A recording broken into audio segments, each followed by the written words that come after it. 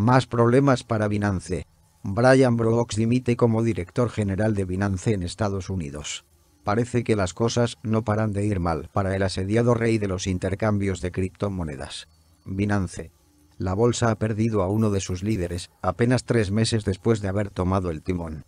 Brian Brooks ha dimitido como director general de Binance Estados Unidos, citando diferencias sobre la dirección estratégica, incluso cuando el intercambio sigue enfrentándose a la presión incesante de los reguladores de todo el mundo. Brooks ha anunciado en Twitter que ha dejado su cargo. Declaró, os comunico que he dimitido como director general de Binance US. A pesar de las diferencias sobre la dirección estratégica, les deseo mucho éxito a mis antiguos colegas. Se avecinan cosas nuevas y emocionantes. Brooks apenas lleva tres meses como consejero delegado de la rama estadounidense de la Bolsa Mundial. Cuando asumió el cargo el 7 de mayo, Binance no había empezado a pasar por el escrutinio de los reguladores y estaba prosperando mientras los precios de las criptomonedas se disparaban.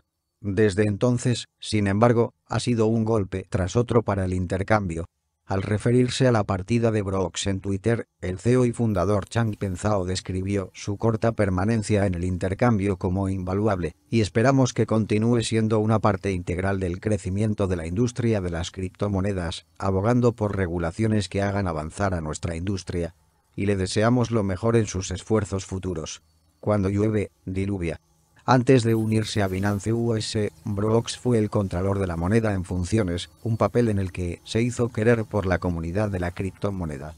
Durante su mandato, supervisó la emisión por parte de la OCC de la primera carta bancaria nacional a una empresa de criptodivisas, Anchoraje Digital.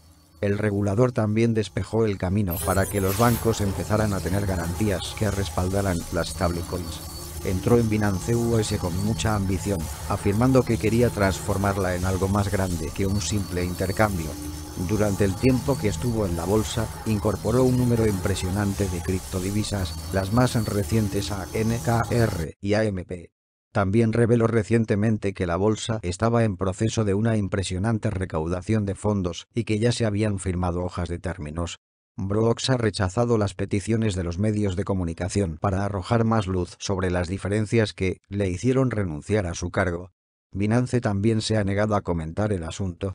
La dimisión de Brooks se produce en un momento en el que un regulador tras otro dirige su atención a la bolsa desde la FSA de Japón hasta la FCA del Reino Unido, pasando por la BaFin de Alemania y el DOG y la CFTC de Estados Unidos, los reguladores han pedido a Binance que cese sus servicios o han emitido una advertencia de incumplimiento.